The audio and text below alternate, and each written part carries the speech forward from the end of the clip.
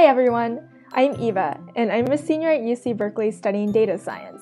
Some of my favorite hobbies include selling things on eBay, I own a top rated eBay store, going cafe hopping, baking with friends, and watching Broadway shows. A project that we're going to look at today is going to be building a countdown timer. Essentially, we're going to ask the user for how many seconds they want to set the timer and then count down. Once all of the time has passed, we're going to print out a blast off message. In this project, we're going to be using the time module. This module is going to come in handy because it imports a lot of time related functions.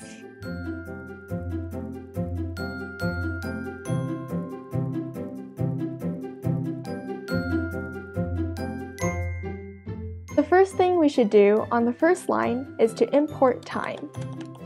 Next, we want to ask the user for how many seconds they want to set the timer for. So create a variable, I'll call it t, and we want to use the input function to ask the user for an input. Remember that when we use the input function, Python reads it in as a string. So that means even if the user types in a number, it's actually encoded as a string. So what we want to do is we want to cast this number into an int. So here we want to keep decreasing the time by one second until we hit zero seconds. So we should use a while loop here.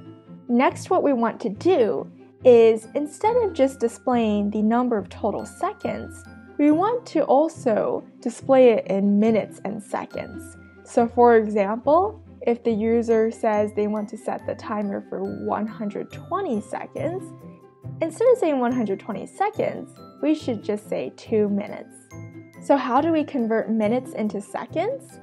Well, there's 60 seconds in 1 minute. And remember that in Python, floor division is super useful because it rounds down.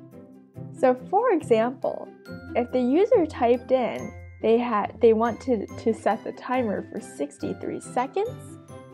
Minutes would calculate 63 floor div 60, which is going to round down to 1. That's 63 divided by 60 is going to give us a decimal number. However, with Python's floor division, it's going to round that number down to 1. What do we do with the extra seconds? So in the example of having 63 seconds divided by 60, that's one minute, but we still have three seconds left. Well, remember the Python modulo? That can also be really helpful here because it helps us find the remainder.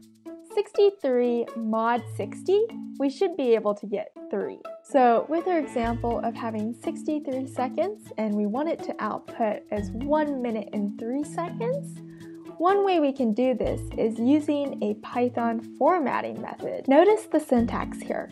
The colon 02D just states that there's 2 width and we have 0 for the left of padding. And the D just stands for we have a digit value. So here, if we just do it twice, we can get the format that we want. Next, we want to print out the timer on the next line. Rather than printing out each new time on a new line, we want to overwrite the previous time with the current time remaining.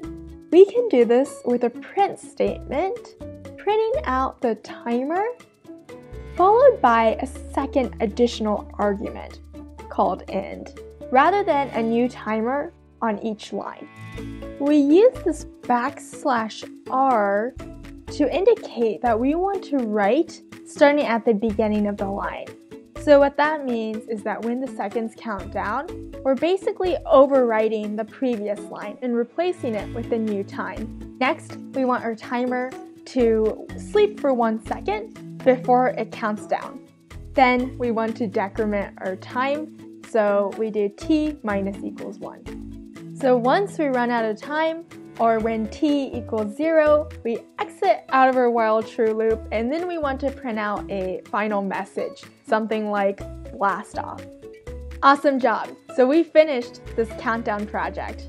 An extension to this project is to make a Pomodoro timer with 25 and 5 minute intervals. The Pomodoro technique is a productivity technique that is often used while studying and working. This is a timer to break down work into intervals, traditionally 25 minutes in length, followed by a 5 minute break time.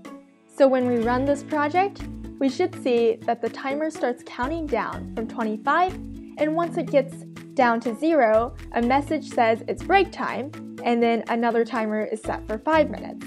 And this repeats for four intervals. Also remember that because the Pomodoro technique is measured in minutes and seconds, we want to calculate how many total seconds. So to find the number of seconds in 25 minutes, you can just calculate it by doing 25 times 60, as there's 60 seconds in one minute. After doing the 25 minute work period, you're going to do the same thing, except now it's the 5 minute break period. Don't forget to reset what t should equal. This time we're converting 5 minutes into the number of seconds. So on line 26, we can just do 5 times 60. Don't forget to use the floor div and modulo in this project as well. Remember that floor division calculates division while rounding down and gets rid of decimals, while modulo gets the remainder. So this is really helpful when calculating seconds into the number of total minutes and seconds that there are. As an extension to this project, feel free to get creative and make a timer for things that you normally do. So maybe homework or chores. The sky's the limit with the Python time module. Thanks so much for watching this video. Don't forget to subscribe to Juni Learning for weekly updates on math and coding tutorials. And if you want to keep watching more videos, you can do that right here. Also, if you want to keep learning from instructors like me, don't forget to check out junilearning.com for private and group courses that we have to offer. Thanks so much for joining us, and we hope to see you next time.